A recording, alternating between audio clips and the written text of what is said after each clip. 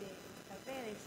Eh, gracias por responder a, esta convocatoria que hemos enviado nuestro portavoz en la Cámara, Denis Márquez, y esta servidora para hacer públicos estos documentos que constituyen el referido que en el día de hoy estaremos haciendo llegar al Departamento de Justicia, a la Oficina de la Contralora, a la Fortaleza, a la Asociación de Alcaldes, la Federación de Alcaldes, la Junta Reglamentadora de Corredores, Vendedores y Empresas de Bienes Raíces y a las comisiones legislativas con jurisdicción sobre este tema que es la Comisión de Actos Legales y de faltas de diversa índole en los procesos privatizados en los municipios para la declaración de estorbos públicos y el ejercicio del poder de expropiación forzosa.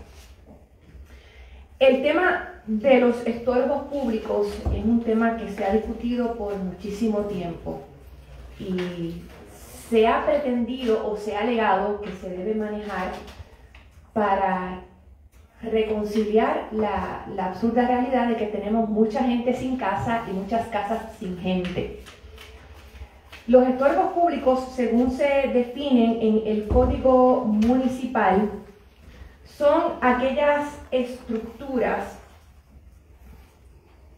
abandonadas o solares abandonados, diremos o baldíos, que son inadecuados para ser habilitados o utilizados por seres humanos por estar en condiciones de ruina, falta de reparación, defectos de construcción o que sean perjudiciales a la salud o a la seguridad del público.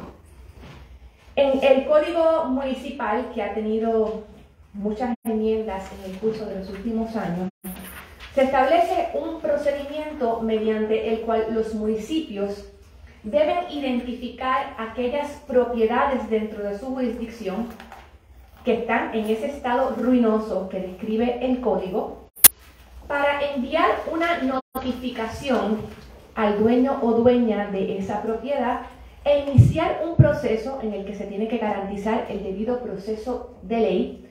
Y ese proceso incluye la notificación adecuada de una manera que sea similar a la que provee para el emplazamiento el código, las reglas de procedimiento civil, se supone que se convoque a vistas, que se dé a la parte afectada oportunidad de ser escuchada y que se permitan varias oportunidades al titular de la propiedad para proceder con la reparación o rehabilitación. El municipio tiene la opción de comenzar a hacer las reparaciones o incluso la demolición a su costo, de imponer multas si se incumplen con las directrices que ha impartido el municipio y de inscribir como una hipoteca legal tácita esas deudas que puede ir acumulando el titular junto con las deudas de contribución sobre bienes inmuebles que debe recaudar el crimen. El municipio puede entonces proceder a declarar el estorbo público y tiene dos vías a su disposición. El municipio puede ejecutar esa hipoteca legal tácita, acudir en un proceso de ejecución al tribunal, al cabo del cual tiene que ofrecer esa propiedad en pública subasta, o puede, según una disposición muy específica de dos artículos del Código Municipal, una vez esa propiedad está inscrita en el inventario de propiedades declaradas estorbos públicos, e insisto, una vez esa propiedad está en el inventario, el municipio puede permitir que personas o entidades privadas escojan alguna de esas propiedades que debe estar de nuevo en estado de ruina, en estado insalubre o inseguro, y esas personas, dispone el código municipal, le pueden entregar al municipio o le deben entregar al municipio la cantidad por la cual ese inmueble ha sido tasado. De esa cantidad se pudieran deducir, y sobre eso vamos a hablar más adelante, las cantidades que el municipio ha invertido en la limpieza, mantenimiento, reparación o restauración de ese inmueble ruinoso. Con ese dinero que se le entrega al municipio, el municipio va al tribunal ese dinero que una vez entregado para ese fin se convierte en fondos públicos Con esos fondos públicos consignados, el municipio le pide al tribunal que se declare con lugar su petición de expropiación forzosa y una vez el municipio se convierte en dueño, en titular de ese estorbo público, entonces puede transferir esa propiedad a la persona o a la entidad privada que le dio ese dinero al municipio. Ese es el procedimiento estatuido en el Código Municipal. Desde hace varios años, 23 municipios, según hemos podido documentar en esta investigación preliminar, 23 municipios han privatizado esas funciones de declaración de estorbo público y de utilización del poder de Estado de expropiación forzosa, entregándole a dos compañías esas facultades.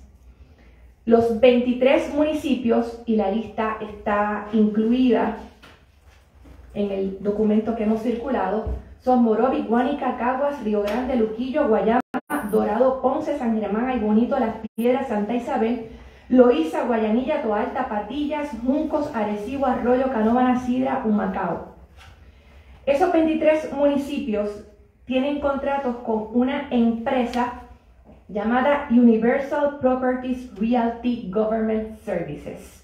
Y el municipio de Caguas, además de tener contratos con Universal, tiene contratos con un bufete de abogados que lleva el nombre de Francis y Gates Law Offices.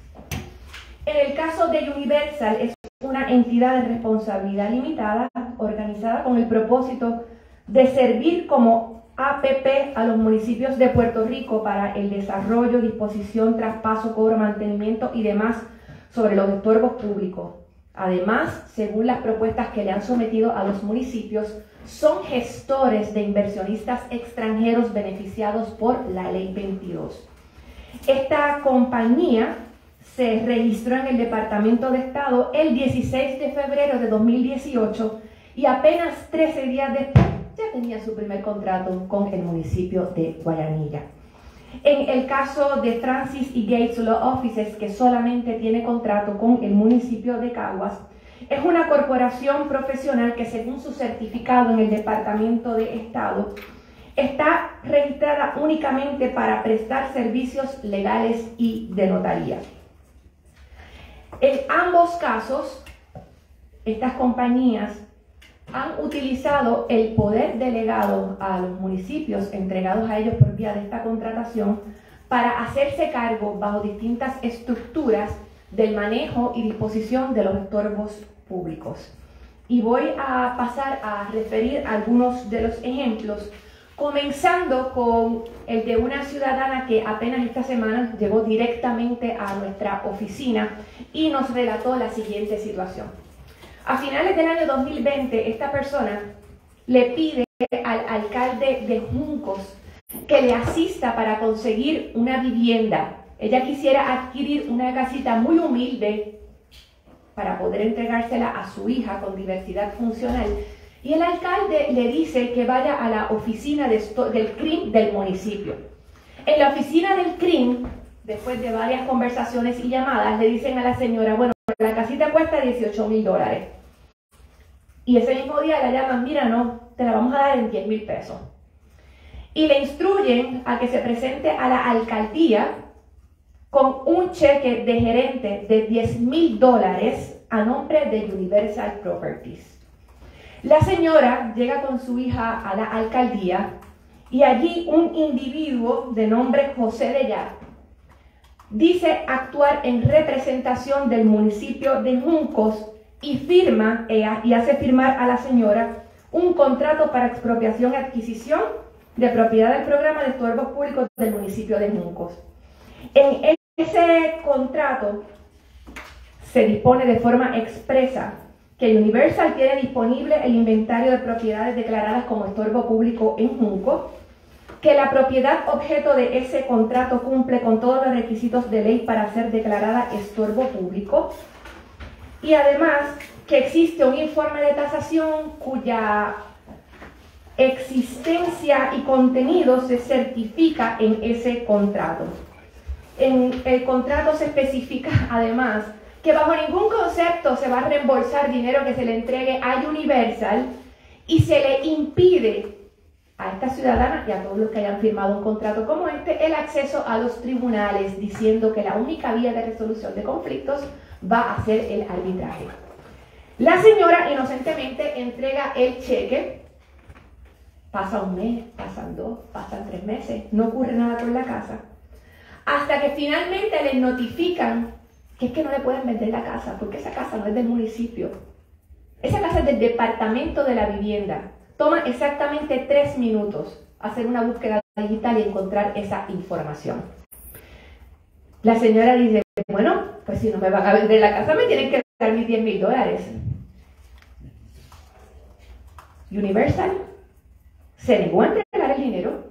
El municipio de Juncos se negó a entregar el dinero lo último que sabemos es que al día después de visitar nuestra oficina, el municipio se comunica con la señora diciéndole que puede pasar a recoger precisamente en el día de hoy el cheque, cosa que todavía no sabemos si ha ocurrido. En estos eventos se configuran a nuestro juicio, aquí están las cláusulas, se configuran a nuestro juicio los delitos de fraude, falsificación ideológica, y apropiación ilegal agravada. Fraude en la medida en que se pretende engañar a la persona solicitante adquiriente. Falsedad ideológica, pues el documento que se suscribe en representación de los municipios y con el consentimiento de los municipios contiene información que no es real y apropiación ilegal agravada en la medida en que se retiene dinero de la persona defraudada y Universal se niega a devolverlo. Este no es el único caso de este tipo. En el caso, eh, hay otro caso en el municipio de Caguas, también personas en una condición de gran vulnerabilidad, un matrimonio de adultos mayores que viven en aguas buenas, tienen que mudarse a Caguas porque están enfermos y necesitan estar cerca de sus hijas. Identifican una propiedad y Universal le dice, no te preocupes, te la vamos a expropiar, eso es un estorbo público y lo vamos a expropiar pero me tienes que traer mañana 55 mil dólares. La gente hace lo indecible, eventualmente terminan vendiendo su casa a toda prisa, toman dinero prestado para llegar con el cheque de 55 mil dólares a nombre de Universal. Y al igual que en el caso de Juncos, pasa un mes, pasa el otro, y no tienen noticias de la transacción, y cuando van a ver la casa, hay una, una persona habitando la casa que le dice, no, esta casa es mía y esta casa a mí no me la va a quitar nadie. Acuden eventualmente a la oficina de estorbos públicos del municipio y el municipio accede a entregarle el dinero que habían depositado. No son solamente las personas en condiciones económicamente vulnerables las que se han afectado por este esquema de ilegalidades. En el caso de la compañía Alejandro Investment, Universal se comprometió con esta empresa que se dedica también al tema de las bienes raíces. Universal se comprometió a conseguir nueve propiedades, suscribieron nueve contratos de expropiación y adquisición de estorbos públicos dos de esas propiedades en el municipio de Las Piedras y siete, perdón, nueve en Juncos y dos en Las Piedras. Y para esta transacción se entregaron al señor Simón Fernández, agente de Universal, un cheque por 230 mil dólares a favor de Universal.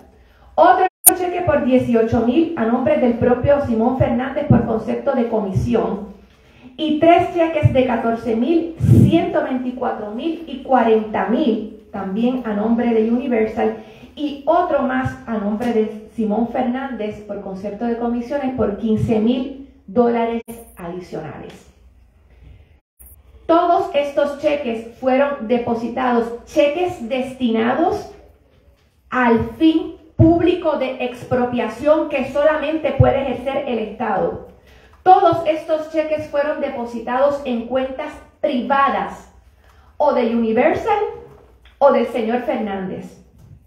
Y eventualmente, igual que en los otros casos, resulta que ninguna de esas propiedades es expropiable, se rehusan aquí también a devolver el dinero que había sido consignado para la expropiación forzosa y la parte perjudicada tiene que acudir al tribunal. Una situación similar se dio en el municipio de Luquillo. En este caso se entregó a Universal la cantidad de 446 mil dólares para la adquisición de varias propiedades que finalmente, otra vez, se demostró que no era posible declarar estorbos públicos, nunca fueron estorbos públicos. La información contenida en el contrato suscrita por Universal a nombre del municipio, con el conocimiento del municipio, era falsa y el asunto se encuentra todavía ante la consideración de los tribunales. Además de las fallas relacionadas a, a, ese mal manejo de fondos públicos destinados a la expropiación de edificios y casas que eventualmente no pueden ser expropiables. Universal ha incurrido, al igual que Francis y Gates, en faltas relacionadas al proceso de notificación para la declaración de estorbos públicos. En el caso de Caguas, quieren expropiar una propiedad de la cual el Banco Popular de Puerto Rico es dueño. En este caso, el Banco Popular había adquirido esta casa como parte de una cartera de propiedades en ejecución. Le daba mantenimiento mensualmente desde el año 2019 hasta que un día llega la compañía de mantenimiento que paga el banco y va al control de entrada de la urbanización y le dicen, aquí no puede entrar nadie. Me dijeron que aquí no puede entrar nadie para ver esa casa. Según se detalla en la demanda, este caso también está en los tribunales, según se detalla en la demanda, eh, al Banco Popular no se le notificó adecuadamente, se le envió un, fax al antiguo tenedor de esa cartera de propiedades en ejecución y el asunto se encuentra todavía ante la consideración del tribunal. Señala el banco en una de sus comparecencias que aparentemente la propiedad se vendió a otro o a la familia de otra persona que reside en la misma urbanización, que fue quien dio la instrucción de que no se dejara entrar al equipo de mantenimiento del Banco Popular. En ese caso la notificación fue por fax, pero en un caso que involucra al municipio de Las Piedras, la notificación fue por Facebook. Este señor recibe un mensaje de Universal en su Facebook que le dice, mira, vamos a declarar estorbo público tu propiedad. La propiedad es un almacén en uso, en buenas condiciones, pintado, se utiliza diariamente, tiene agua y luz, no debe un centavo de contribuciones, un local en perfectas condiciones. El señor, como le dicen, tienes que comparecer para oponerte, le escribe de vuelta a Universal y nunca recibe contestación. Lo que sí recibe es la noticia de que la autoridad de energía eléctrica le cortó la luz porque Universal fue y dijo, le tiene que cortar la luz a ese almacén porque eso es un estorbo público, eso lo vamos a expropiar. Y el señor se quedó sin electricidad en su centro de trabajo debido a las actuaciones negligentes de Universal. El caso eh, también llegó a los tribunales. La falsedad de la información que presenta Universal se refiere no solamente a el contenido de los contratos, según se detalla en el caso del municipio de Las Piedras versus Ramos y otros. Y estas son determinaciones del tribunal, estas no son alegaciones, son determinaciones del tribunal. Resuelve la jueza. La información provista en la demanda de expropiación, según la casa a expropiarse no tenía puertas, ventanas o verjas, es falsa.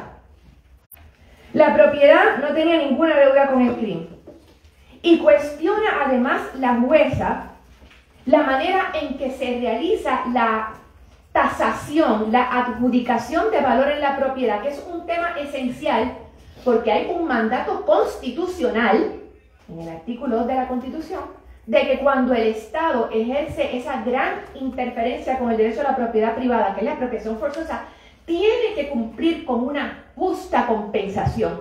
¿Qué es lo que está ocurriendo? Y vamos ahora a la próxima. ¿Qué es lo que está ocurriendo? Estas compañías, Francis y Gates y Universal, someten para el procedimiento de expropiación facturas uniformes. No importa el tamaño de la propiedad, la condición, la ubicación, tienen una puntería que todas las facturas le suman lo mismo. Y de hecho, yo adquirí conocimiento de esto y por eso iniciamos la investigación. Cuando el año pasado compareció aquí el Centro para la Recaudación de Impuestos Municipales a una vista pública y mencionó como de pasada, oye, y en el caso de estorbos públicos, hay una gente que todas las facturas le suman exactamente lo mismo. Estas son eh, las facturas en las que se incluye, por ejemplo, eh, un cargo de identificación de propiedad de 150 dólares, un cargo de inspección de 150 dólares, como señala la jueza, de nuevo, esto es parte de la sentencia del tribunal. Dice la jueza, los gastos detallados son increíbles, como cobrar 343 dólares con 75 centavos por una certificación del CRIM que se puede pedir electrónicamente por 5 pesos. Y otros tales como 350 dólares por website data, 150 por identificar la propiedad, etc. El tribunal en este caso tomó además conocimiento judicial de que en ese mismo tribunal son ocho los casos de expropiación forzosa en los que se incluyen facturas idénticas. En este caso en particular, se trata de una propiedad que cuando se compró había costado 33 mil dólares. Cuando Universal y el municipio suman y restan, la casa termina costando 2 mil pesos, es el valor que le quieren adjudicar. Pero no solamente que le dicen, esta casa lo que vale ahora son dos mil pesos, porque claro, le restan toda esta barbaridad de la factura. Es que ya el municipio se había comprometido a vendérselo a otra persona por la cantidad de 20 mil dólares. Así que el tribunal anula todas las transacciones y le ordena al municipio que devuelva inmediatamente la cantidad comprometida y no permite el proceso de expropiación forzosa. Y debemos señalar que en este caso, eh, esta jueza es eh, de los casos que hemos visto, la jueza Itzel María Aguilar, eh, quien único hemos visto que eh, cuestione de manera detallada los procedimientos de expropiación forzosa. En el caso de Universal, varias de las facturas, y tenemos a continuación un documento que me entregó el CRIM a través de una petición de información avalada por el Pleno del Senado, yo les requerí al CRIM que nos enviara eh, cuál era la lista que tenían de propiedades en ejecución que estuvieran siendo en ejecución, expropiación forzosa, debo decir, eh, que estaban siendo manejadas por compañías privadas y cuáles eran los datos que estaban reclamando. Eh, y como podrán advertir, y los documentos los tenemos también disponibles por la vía electrónica, en decenas de propiedades el costo es exactamente igual. Universal cobra siempre 20.567 dólares. Y Francis y Gates cobra siempre 20.000 dólares. En la información que cuenta el CRIM. Pero no solamente solicitamos esta información del CRIM. Nuestra oficina realizó una investigación en el sistema Caribe del registro de la propiedad. Y examinamos, y este es un ejemplo 40 facturas, 40 facturas radicadas en dos fechas, todas del municipio de Huánica, todas de Universal Properties y todas exactamente por 25.990 dólares. En todos los casos, Universal gastó al centavo exactamente lo mismo en mantenimiento, reparaciones o lo que sea que estén cobrando. Para que tengan una idea de lo lucrativo que resulta este asunto. Estamos hablando de Guanica nada más. Universal lleva estas instancias al registro de la propiedad. Ese es el documento que se utiliza para inscribir lo que se conoce como la hipoteca legal tácita. Cuando esas propiedades o se ejecuten para satisfacer la hipoteca o eventualmente sean declaradas estorbos públicos y se vendan por el, procedimiento que permite el código, esas cantidades van a ser deducidas de la tasación. Así que nada más en el municipio de Guánica, en ese único municipio, Universal Property Realty Government tiene el potencial de ganarse 1.039.600 dólares. Si se validan, como en efecto se han validado en muchos casos, esos cobros injustificados. Como les comentaba, se trata de la intervención con el derecho garantizado por la Constitución a la justa compensación en los casos de expropiación forzosa.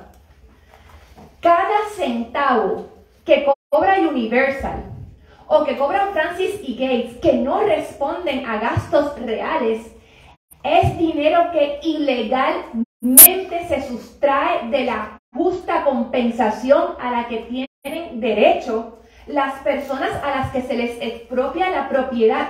Y como estamos viendo aquí, son millones de dólares alrededor de todo Puerto Rico, que hay más de un millón de dólares solamente en Guánica.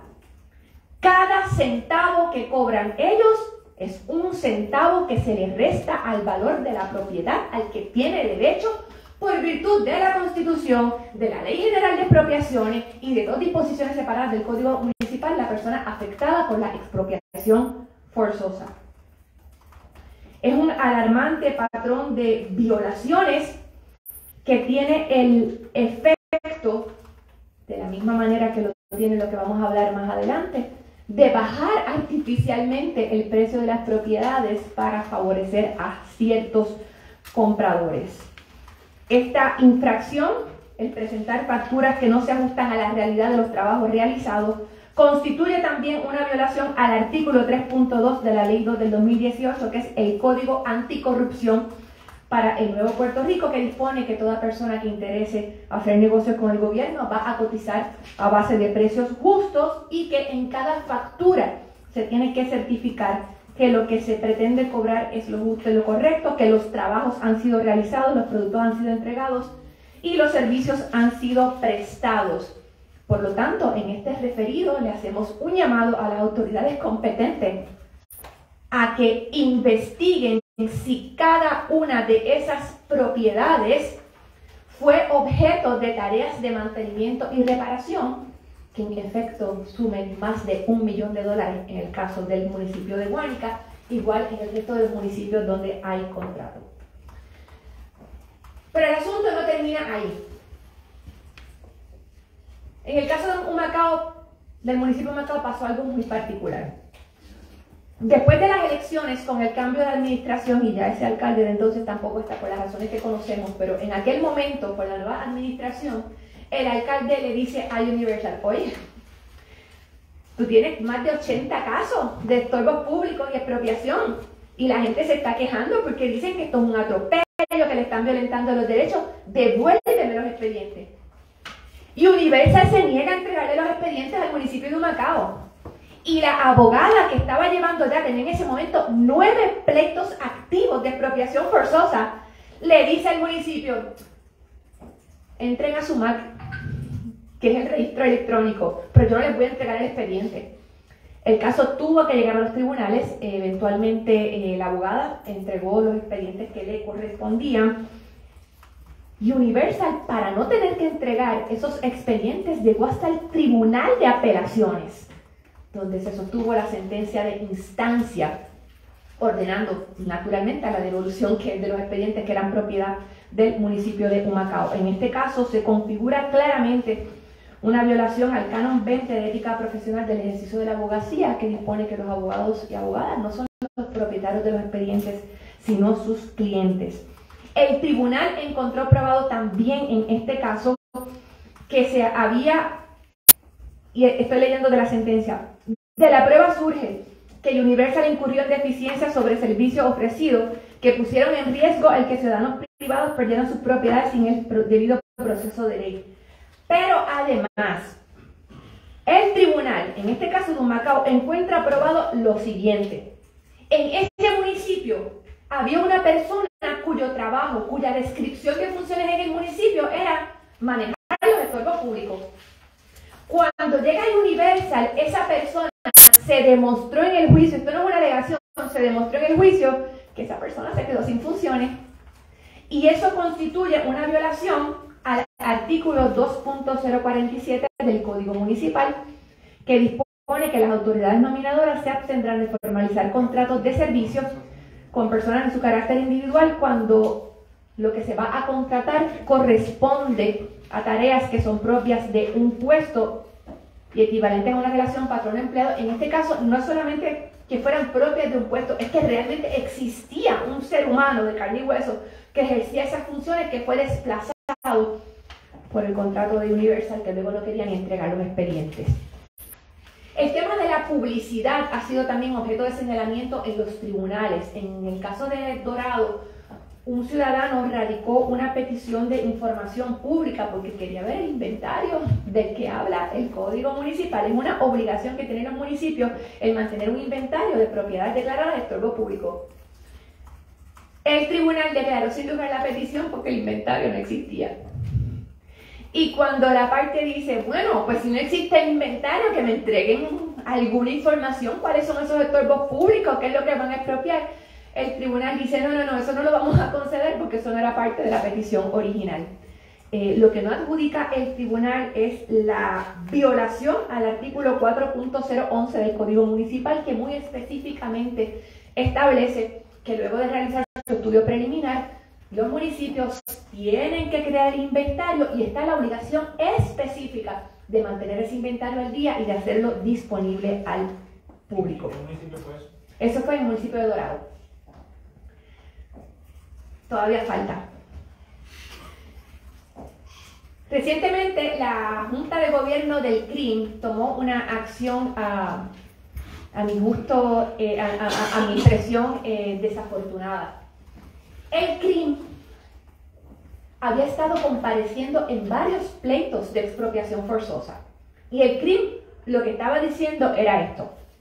Y una revisión del texto del Código Municipal le da toda la razón a la alegación del CRIM. El CRIM decía, oye, pero es que cada vez que el municipio inicia un proceso de expropiación para venderle esa casa a un tercero a una entidad privada, a un individuo, cada vez que le va a vender una casa al tercero, cuando somete la tasación en la petición de expropiación, le descuenta la totalidad de la deuda por contribuciones inmuebles, que en algunos casos son decenas de miles de dólares. Y el CRIM dice, con toda razón, bueno, decía, ya no lo dice, el CRIM decía, fue el tribunal y decía, lo que pasa es que el Código Municipal solamente permite la condonación de las deudas sobre propiedad inmueble cuando esa expropiación se va a realizar para que esa propiedad se dedique a una utilidad pública. Utilidad pública puede ser la escuela, el hospital, el cementerio, el parque, la plaza, lo que sea. Utilidad fin público para la gente. Pero el código no permite que eso se haga cuando el municipio lo que va a hacer es vender la casa para adelante a alguien esa era la alegación del CRIM en más de un caso. Eh, la Junta de Gobierno del CRIM determinó recientemente, se publicó la reseña de la decisión el 13 de marzo del 2023 en el periódico El Nuevo Día. El CRIM decidió que ya no va a pelear más eh, el cobro de esas contribuciones. ¿Y cuál es el efecto? ¿Por qué es que esto es tan peligroso? Bueno, y así es como está funcionando este esquema. Se supone, se supone que la idea de declarar un estorbo público y de hacerlo disponible para la venta es que se rehabiliten, por un lado, las propiedades en peor estado y por otro, que se permita que la gente que no tiene acceso al mercado regular pueda comprar a un precio razonable. Ese es el fin de las declaraciones de estorbo público como se concibe en el Código Municipal y el tema de las expropiaciones forzosas al amparo de, esas secciones. Lo que está ocurriendo es que los municipios están convirtiendo sus jurisdicciones en catálogos abiertos. Y va cualquiera y dice, a mí me gusta la casa de Manuel me gusta la casa de Damaris, ¿cómo podemos hacer para quitársela? ¿Cómo se la podemos expropiar? Y por eso es que comienzan estos procedimientos de declaración de estorbos públicos de propiedades que están en buen estado. porque hay una persona interesada en adquirirla, pero no quiere hacerlo bajo el mecanismo convencional en que uno tiene que someterse a una tasación y pagar las deudas, no. Recurren al poder de expropiación del Estado para que les condonen hasta decenas de miles de dólares en contribuciones de propiedad inmueble. Entonces, se favorece, eso es a todas luces una donación a ciertas personas, con el agravante de que en medio de la situación fiscal del país, el municipio se queda sin cobrar, tanto que se quejan, tanto que se quejan y escogen no cobrar esas contribuciones municipales, a pesar de que esa condonación, como correctamente había defendido el CRIM, no era autorizada por el Código Municipal. Finalmente, el CRIM también ha denunciado en el caso de Francis y Gates, en casos llevados en representación del municipio de Caguas, la existencia de un serio conflicto de interés. Este bufete, y es distinta la situación, Universal es una empresa que se dedica al manejo de bienes raíces, a la ley 22, etc. Francis y Gates es un bufete, son abogados. Amparo de este contrato con el municipio de Caguas manejan desde la declaración de estorbo público el mantenimiento de la propiedad, como hemos visto con las facturas, y el proceso de expropiación. El CRIM planteaba lo siguiente. Esto de por sí trae como consecuencia que el propio bufete y sus abogados sean quienes representen al municipio en un caso de expropiación de estorbo público. Y sean estos, los mismos abogados, los que testifiquen en el mismo proceso por su interés pecuniario de cobrar una cuestionable factura de 50.300 dólares. Esto es contrario al canon 22 y al canon 23 de ética profesional, ya que un abogado no puede testificar en beneficio de su cliente, lo cual en este caso es cuestionable, porque abogado y cliente son la misma persona. Este bufete dice, me tienes que pagar, en este caso eran 51.300 dólares. Y quien declara es uno de los abogados que trabaja en el mismo bufete de la persona que está llevando, que está llevando la expropiación forzosa.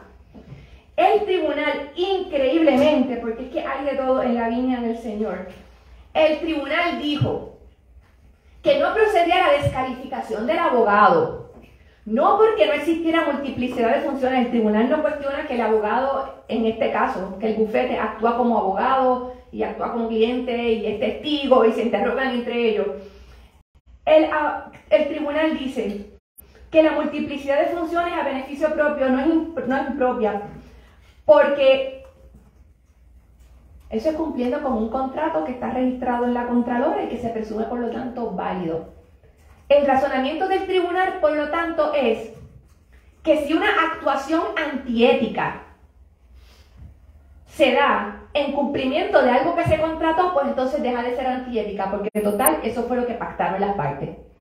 Un razonamiento absolutamente absurdo. Añadimos a los planteamientos del crimen que aquí se constituye una violación al canon 37, que establece que la participación del abogado en negocios o actividades de venta de bienes, agencias de cobro, fianza u otros servicios comerciales propios o pertenecientes a otras personas no es una actividad propia de la buena práctica de la profesión, sobre todo cuando esas gestiones que no corresponden al ejercicio de la abogacía tienen el efecto directo de generar trabajo facturable por el bufete.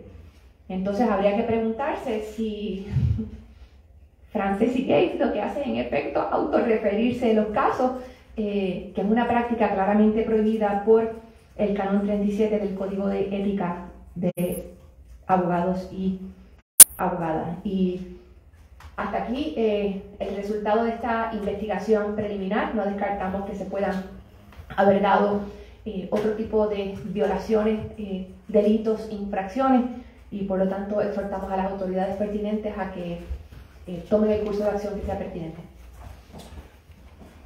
Buenos días a todos y a todas. Partiendo del cierre de esta primera etapa de la conferencia de prensa de María Lula, me parece importante el asunto de los referidos. Hemos referido todo este escandaloso esquema. Número uno, el secretario de Justicia de Puerto Rico, el licenciado Domingo Emanuel, el cual tiene múltiples responsabilidades en este asunto. Número uno, eh, comenzar una investigación por los fiscales del Departamento de Justicia sobre la posible comisión de delitos que han sido señalados en la comunicación y sustentados por este conjunto de documentos de prueba en la investigación que realizó la compañera Maribel de Santiago y su oficina. No nos olvidemos que el secretario de Justicia es el custodio o el principal defensor de la Constitución de Puerto Rico, por lo tanto, tiene también una obligación de examinar los procedimientos de expropiación forzosa en Puerto Rico, esto que se están señalando aquí, bajo los planteamientos que ha señalado María Luz de violación al debido proceso de ley, la cuantía que no corresponde al valor real de la propiedad a ser expropiada. De igual forma, no nos olvidemos que los municipios no son otra cosa que criaturas de la Asamblea Legislativa, por lo tanto, también hay una responsabilidad de evaluar todas las acciones de los municipios en términos del cumplimiento con el Código Municipal, porque muchos de ellos no van a hacer esa autoevaluación. Está también el asunto del derecho del acceso a la información, el asunto del cumplimiento con el debido proceso de ley en Puerto Rico y de igual forma el Contralor la Contralora de Puerto Rico tiene mucho trabajo aquí. Estamos hablando de que si es la entidad que examina, que audita el gasto y el uso de los fondos públicos, aquí hay un conjunto de violaciones al uso de fondos públicos o de uso de fondos públicos que se pudo haber los municipios ahorrado en este conjunto de demandas que María Lourdes eh, ha estado describiendo, algunas de ellas incluyen los municipios y otras son facturables por estas empresas al municipio. Estamos hablando de uso de, fondos públicos en acciones legales por violaciones a los derechos de las personas. De igual forma, el asunto de que la Contralor tiene que analizar el mecanismo de los pagos del contrato, la forma en que se contrató, si se cumplió con las leyes de Puerto Rico cada uno de estos contratos, estoy hablando específicamente de las dos empresas.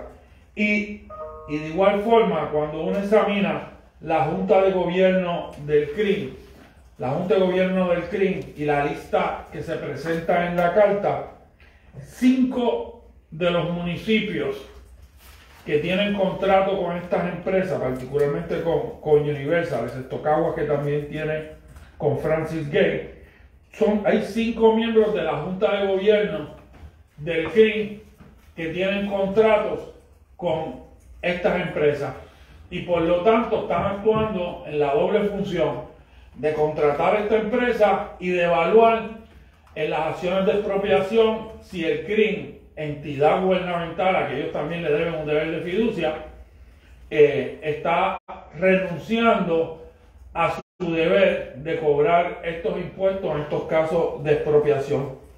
Por lo tanto, me parece que, esto, que este referido que hemos hecho en el día de hoy, que no es solamente hacer la denuncia, sino el referido a la Junta Reglamentadora también de Bienes Raíces por los asuntos de las cuentas plicas y las actuaciones de estas personas que debemos asumir que tendrían licencia de corredor o de agente de bienes raíces, es parte de esa investigación.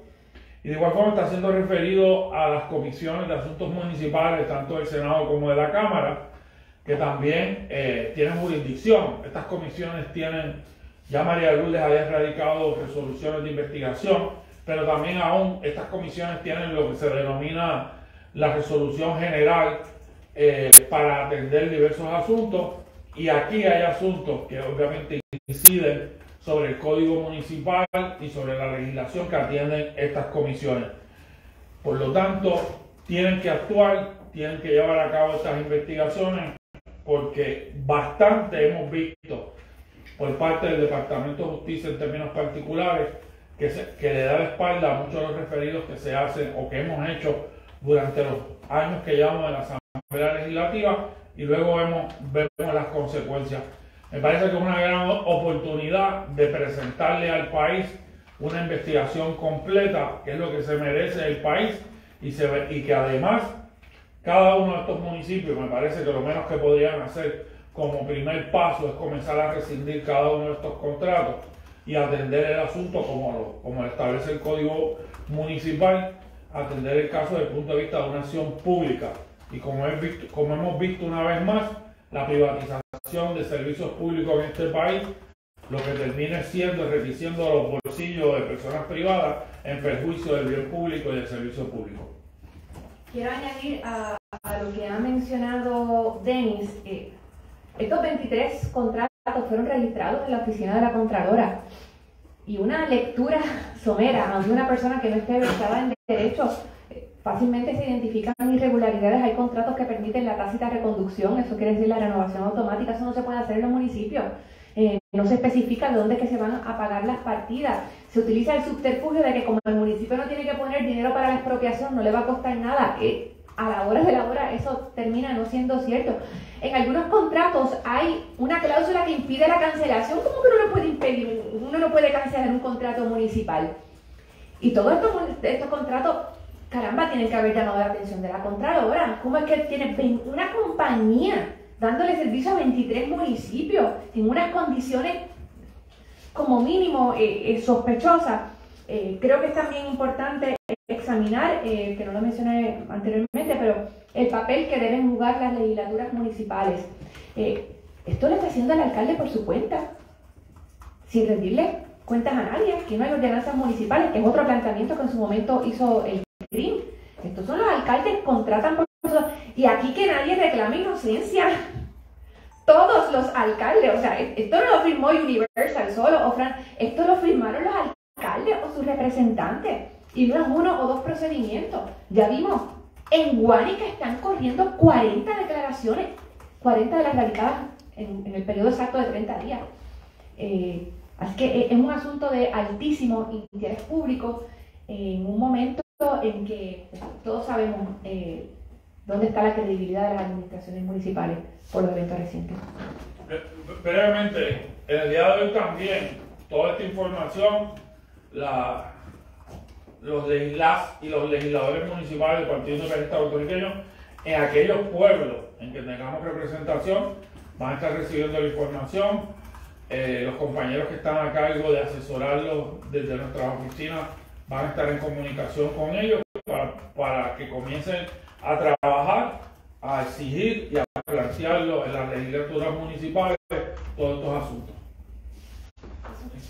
¿Quién es universal? ¿Ah? ¿Quién es Universal? La persona designada. No, pero ese, ese es como el agente residente. No. No, no, no, no, no, no es como esos casos en que la gente residente luego el, que el incorporador se desarrolla. No, no, no. Es, eh, el nombre es José Vélez Reyes. Es mi recuerdo. Andrés, Vélez, Andrés Vélez Reyes. Y José de ella. Y José de ella. Y la otra persona que eh, se ha mencionado específicamente en los casos es Simón Rodríguez. Esa es la, la demanda que examinaron. Sí.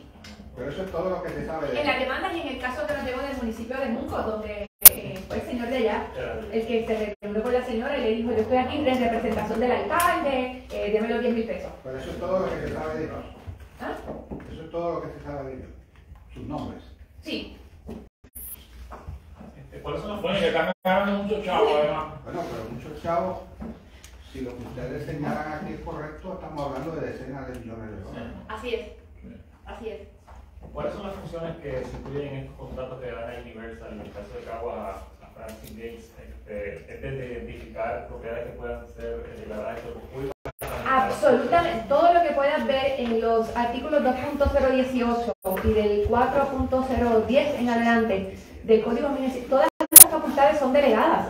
Ellos pueden identificar las propiedades, son quienes identifican los compradores, son quienes corren todo el proceso de declaración de estorbo público.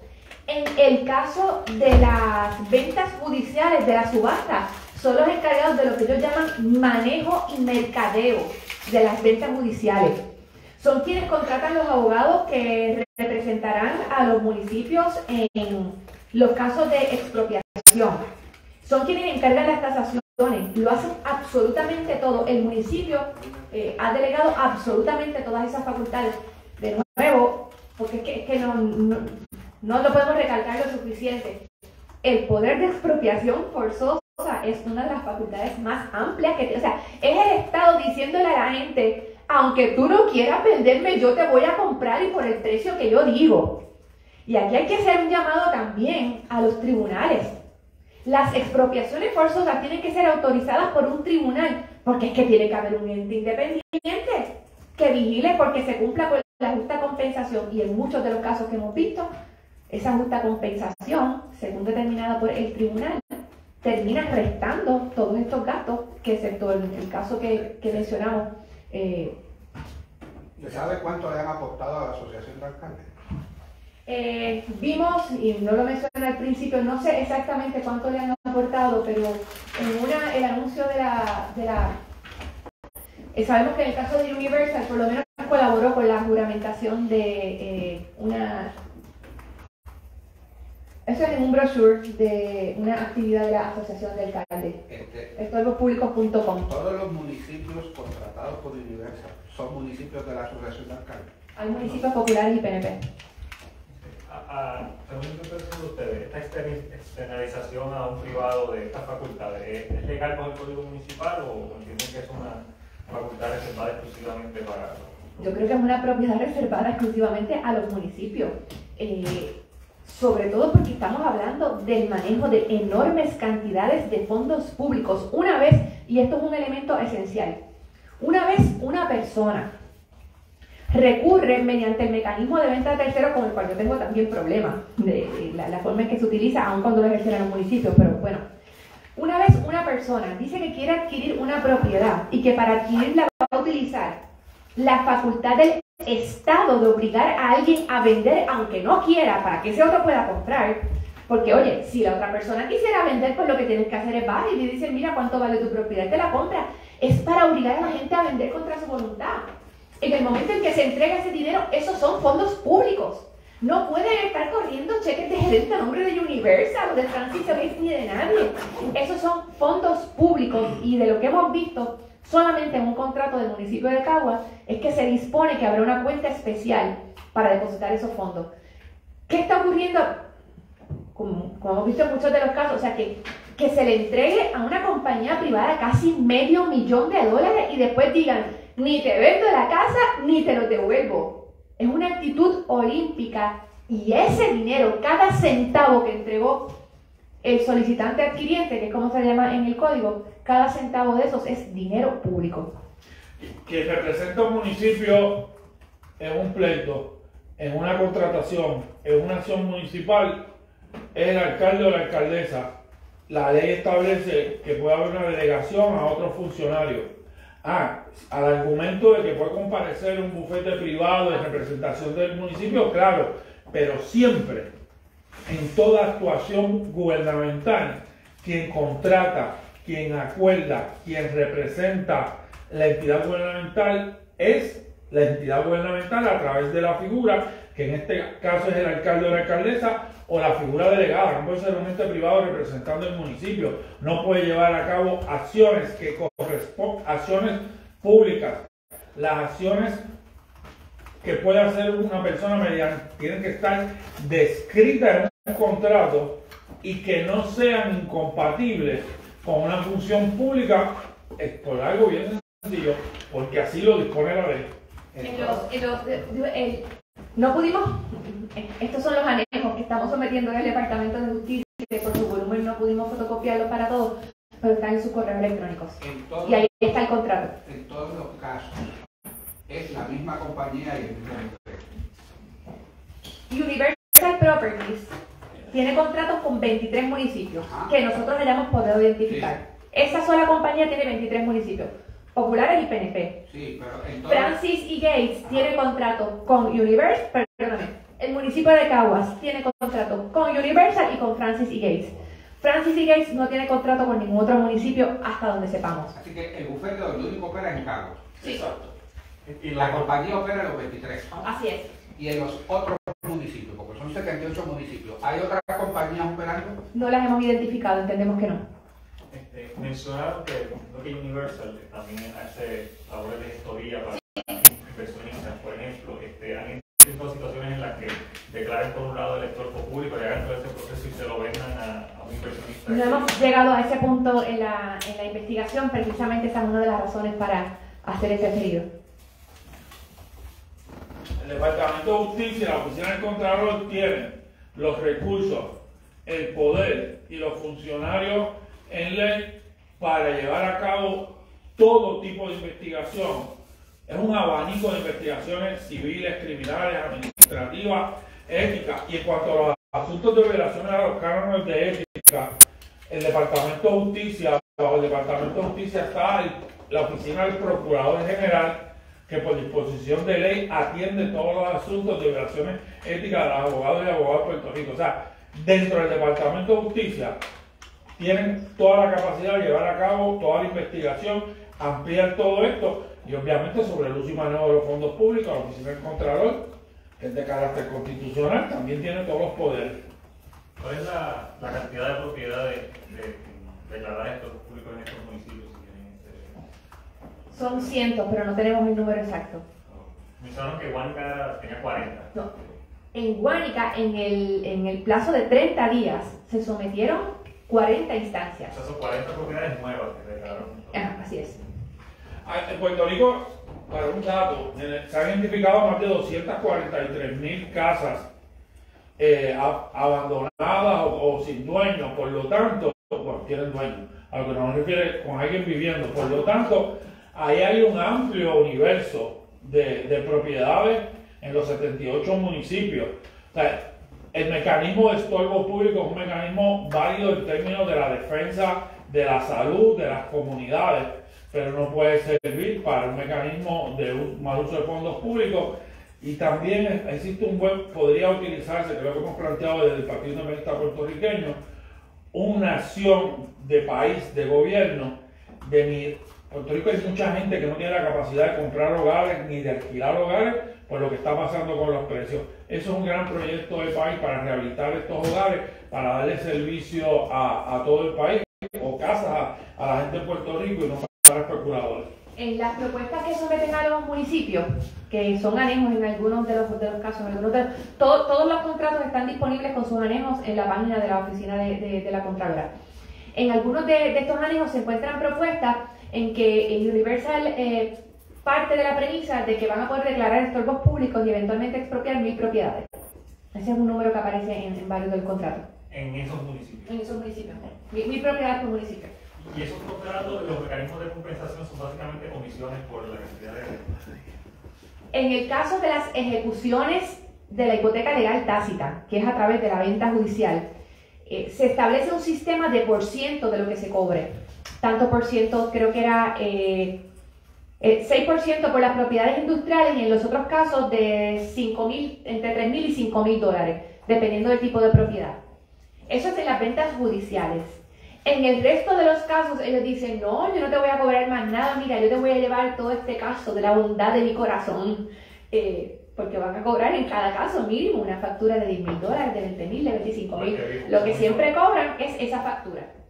Quiero volver al caso del almacén. Mm, Ese almacén es un negocio que estaba operando. Sí, ¿El municipio tenía alguna causa para expropiarlo? O ninguna. sea, no Ninguna. había eh, morosidad en pago de impuestos municipales. Al día. nada. Varias de, la- de, la- de las propiedades con las que se ha intervenido tienen, tan pronto una propiedad tiene sus contribuciones al día, tú dices, caramba, pues lo del abandono puede que se vea en lo físico, pero alguien se está haciendo cargo de todos los años al crimen. Ok, pero en el caso del almacén, Al- se utilizaba todos los días, es un, es un negocio de uso constante. estaba al día en sus impuestos.